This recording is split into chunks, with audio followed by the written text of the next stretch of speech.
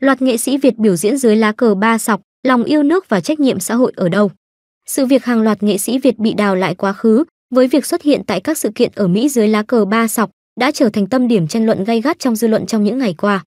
Đây không chỉ đơn thuần là bức xúc của xã hội về lòng yêu nước, mà còn đặt ra những câu hỏi về ý thức, vai trò, trách nhiệm của nghệ sĩ trong xã hội, về lòng tự tôn dân tộc. Thực tế từ những tên tuổi đình đám như Việt Hương, Trấn Thành đến những ca sĩ nổi tiếng như Tóc Tiên, Phan Đinh Tùng, Phạm Khánh Hưng, Myra Trần đều đã từng xuất hiện tại các sự kiện có lá cờ ba sọc. Điều này khiến nhiều người bất ngờ và đặt câu hỏi liệu họ có thực sự hiểu rõ về ý nghĩa của lá cờ này, họ vô tình hay cố ý. Nữ diễn viên Việt Hương được biết đến với hình ảnh vui vẻ, gần gũi, từng bị đào lại một đoạn video clip ghi lại cảnh cô biểu diễn trên sân khấu dưới lá cờ ba sọc và trong nội dung của tiết mục biểu diễn có cả những câu thoại gây tranh cãi như Việt Nam đi dễ khó về, khi đi trai tráng khi về bung beo. Trấn Thành, một trong những nghệ sĩ hài được yêu thích nhất hiện nay, cũng bị phát hiện tham gia một sự kiện quảng bá phim Mai tại Mỹ, nơi có xuất hiện nhiều lá cờ ba sọc. Điều đáng nói là bộ phim Mai do Trấn Thành sản xuất và đạo diễn còn được quảng cáo trên đài Á Châu Tự Do, RFA, một kênh truyền hình hải ngoại có tư tưởng phản động.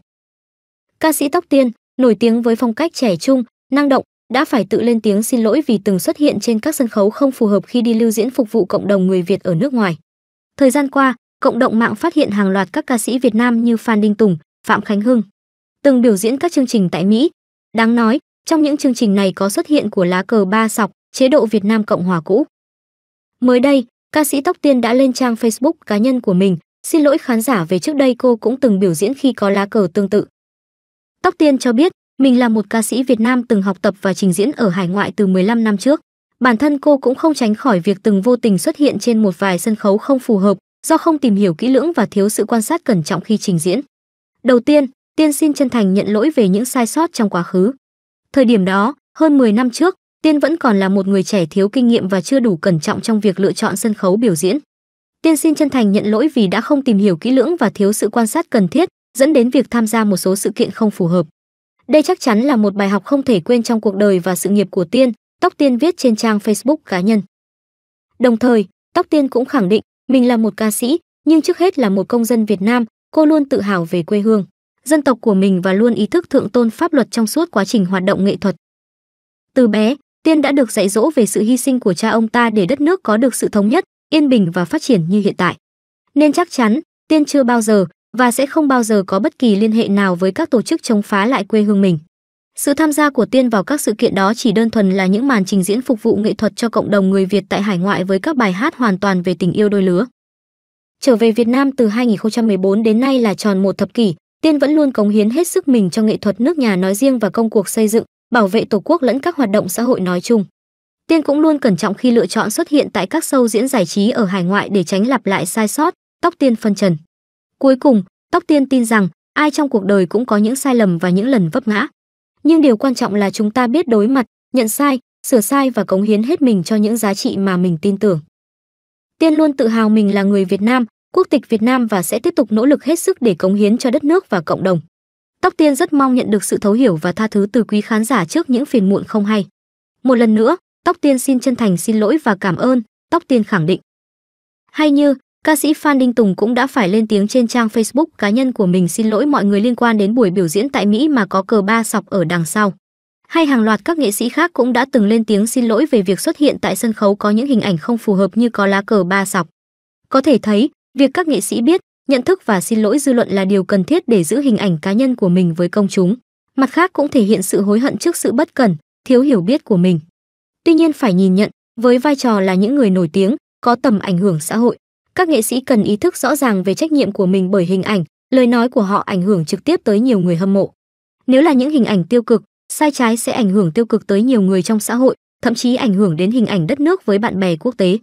Chính vì vậy, việc xuất hiện cờ ba sọc đi kèm những buổi biểu diễn của họ là những hình ảnh không phù hợp và đáng bị chỉ trích, lên án. Những ví dụ này là một bài học đắt giá để các nghệ sĩ rút kinh nghiệm, trau chút hơn, cẩn thận hơn với lời ăn tiếng nói, cũng như hành động của mình trước công chúng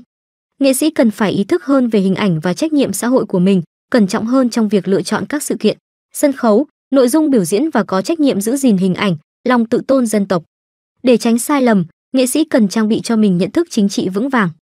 trước ồn ào về việc một số ca sĩ lên tiếng xin lỗi vì từng biểu diễn trong các chương trình nghệ thuật có cờ của chế độ cũ phó giáo sư Tiến sĩ Bùi Hoài Sơn, Ủy viên thường trực Ủy ban Văn hóa, Giáo dục của Quốc hội đã có cuộc chia sẻ quan điểm về vấn đề này với báo Công Thương.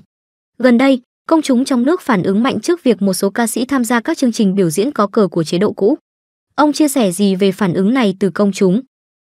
Tôi cho rằng, phản ứng của dư luận và công chúng trước việc một số ca sĩ tham gia các chương trình biểu diễn có cờ của chế độ cũ cả mặt tích cực và tiêu cực. Về phía tích cực, đó là thái độ khẳng định lòng yêu nước và bảo vệ giá trị lịch sử thiêng liêng. Phản ứng mạnh mẽ từ công chúng là tiếng nói chung của hàng triệu trái tim đang hòa chung nhịp đập với quá khứ hào hùng của dân tộc. Đó là dấu ấn sâu sắc của một tình yêu quê hương mãnh liệt, là tinh thần đoàn kết bất khuất của dân tộc Việt Nam, sẵn sàng đứng lên bảo vệ những gì thuộc về mình. Trước sự phản ứng từ dư luận, các cơ quan văn hóa, giáo dục và truyền thông có thêm động lực để những câu chuyện lịch sử hào hùng tiếp tục được lan tỏa và thấm sâu vào tâm hồn thế hệ trẻ. Đó là một cơ hội quý báu để chúng ta, với lòng tự hào dân tộc, khắc sâu thêm những bài học lịch sử, để từ đó, mỗi người trẻ hôm nay hiểu rõ hơn về những hy sinh cao cả, những giá trị bất diệt đã góp phần dựng xây và bảo vệ đất nước. Tuy nhiên, phản ứng của dư luận cũng có thể gây ra những hệ lụy nhất định nếu không được kiểm soát và dẫn dắt đúng hướng, có thể dẫn đến sự phân hóa trong xã hội, làm gia tăng mâu thuẫn và sự chia rẽ giữa các nhóm người với quan điểm khác nhau.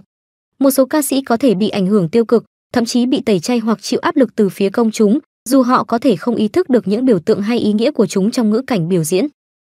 Vì thế, tôi cho rằng phản ứng của công chúng trước việc một số ca sĩ tham gia các chương trình biểu diễn có cờ của chế độ cũ là một biểu hiện của sự nhạy cảm đối với lịch sử và văn hóa, cần được hướng dẫn và xử lý một cách khéo léo để vừa tôn vinh được những giá trị lịch sử tốt đẹp, vừa tránh những hệ lụy không mong muốn. Từ việc nghệ sĩ xin lỗi khi tham gia một số chương trình chưa phù hợp, ông có ý kiến gì nhận thức về chính trị của nghệ sĩ? Việc một số nghệ sĩ chủ động lên tiếng xin lỗi sau khi tham gia chương trình chưa phù hợp cho thấy một khía cạnh đáng chú ý về nhận thức chính trị của nghệ sĩ trong bối cảnh hiện nay. Trước hết, hành động xin lỗi này thể hiện sự tự nhận thức và tinh thần trách nhiệm của nghệ sĩ đối với công chúng và đất nước. Nó cho thấy, dù vô tình hay không, việc xuất hiện trong các chương trình có liên quan đến biểu tượng nhạy cảm cũng có thể gây ra những phản ứng mạnh mẽ từ phía dư luận. Việc xin lỗi không chỉ là cách để nghệ sĩ thể hiện sự tôn trọng với lịch sử, mà còn là một nỗ lực để làm dịu đi những căng thẳng có thể phát sinh trong xã hội. Bên cạnh đó, từ những vụ việc này, có thể thấy rằng nhận thức về chính trị của nghệ sĩ vẫn còn nhiều vấn đề. Nghệ sĩ không chỉ là người sáng tạo nghệ thuật mà còn là người có ảnh hưởng lớn đến cộng đồng. Do đó, việc hiểu rõ về bối cảnh lịch sử, văn hóa, chính trị là vô cùng quan trọng. Những biểu tượng, hình ảnh mà họ sử dụng hay xuất hiện cùng trong các chương trình không chỉ là chi tiết đơn thuần, mà còn mang theo những ý nghĩa sâu xa có thể tác động mạnh mẽ đến nhận thức và tình cảm của công chúng. Vì vậy, để tránh những sai lầm không đáng có, nghệ sĩ cần trang bị cho mình một nhận thức chính trị vững vàng hơn.